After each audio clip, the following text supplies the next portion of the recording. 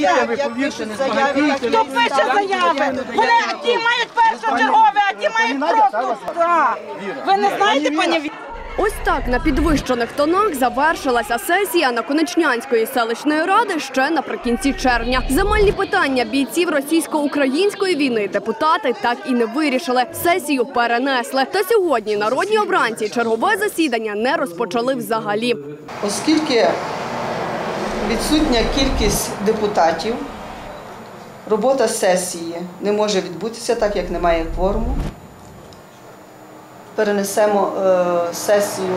Я цього тижня зберу голів комісії і ми вирішимо, на який день заплануємо наступне пленарне засідання.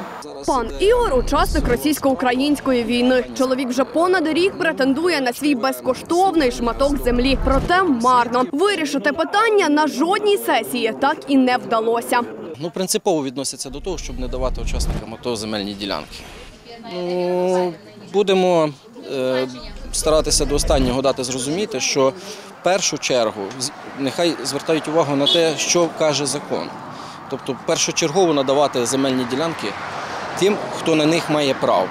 Градус напруги загострюється. Учасники бойових дій налаштовані рішуче. Вчинками ж депутатів обурені. Ми закликаємо не тільки регіональні телевізійні канали, а також канали з цілої України приїхати і висвітлити цю подію, що відбувається на західній е, Україні, е, в серці Галичини, і чому не виділяють землі учасникам бойових дій. Поставити крапку у боротьбі за землю знову не вийшло. А згідно закону України, учасники АТО мають право претендувати на безкоштовне отримання землі. І місцева влада повинна вирішити це питання у максимально стислі строки. Дарина Татарчук, Віталій Дмитерко, Правда наживо, телеканал НТА.